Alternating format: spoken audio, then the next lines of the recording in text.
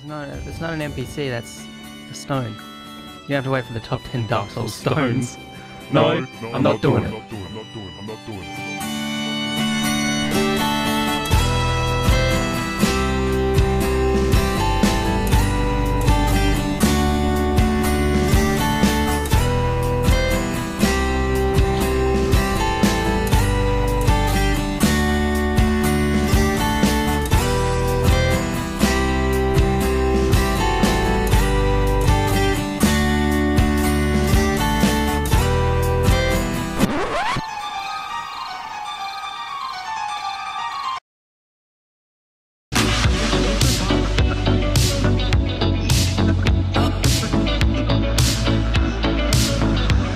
Hi guys, Indeimaus here, and welcome to my most requested video of all time. I kid you not, top 10 Dark Souls stones. Actually, there is another really requested video, but we're not going to mention that here because people are getting worried. People are getting restless about that one.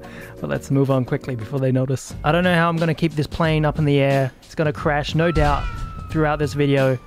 I can't even think of 10 rocks or stones right now.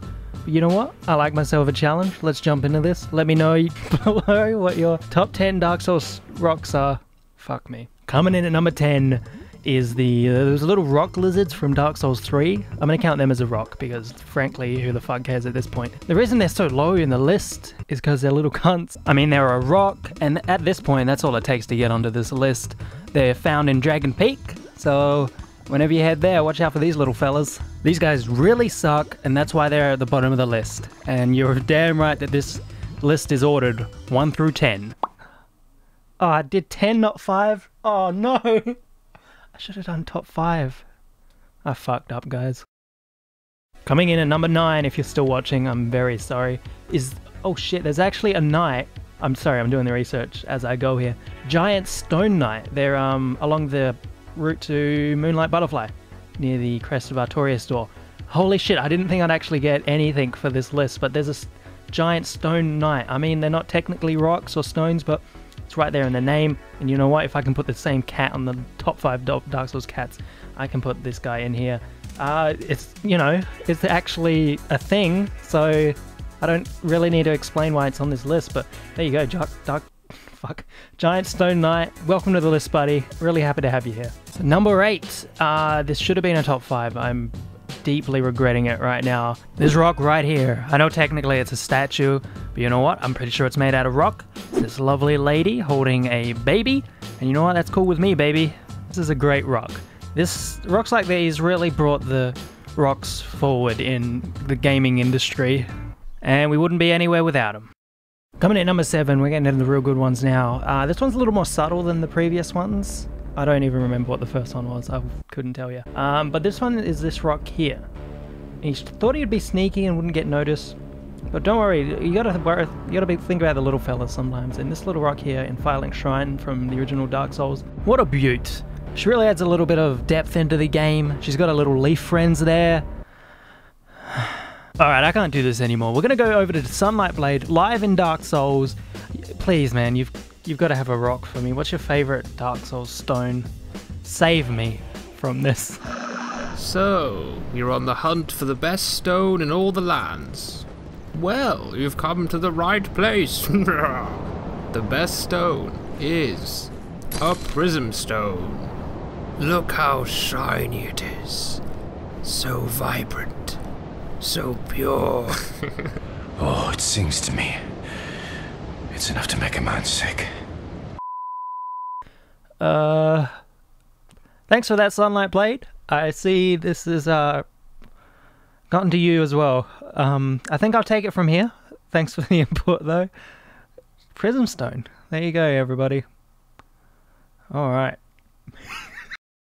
uh, all the all of these rocks in Majula. I couldn't only pick one because, frankly, they all look the same to me. That is rockest. I don't know whether I'll keep that in. Alright, uh, just all of them. They're just all great. They're all just good rocks. Uh, this one, you know, I like this one a lot. This, just all of these are just pretty great. Rockest. Uh, god damn it. Alright, we're getting into the top five now, ladies and gentlemen. Uh, coming in number five is the Small White Soapstone. This is the one um, from Dark Souls 2. It, allows you to put down your summon sign, of course, except this time, if you get summoned, it's for a limited amount of time, and it's like the, the sign's like really small. It's like a little baby sign. I mean, obviously, it's not as good as the normal size stone, but it got me through some of the real hardships of the game. Ah, Dark Souls 2 wasn't hard. What the fuck am I talking about? Coming in number four, the Red Eye Orb. I know technically it's an orb. Uh, I don't know if you count this as a stone, but if you don't, you can put the red soapstone here instead. So this will be a spot for both of those.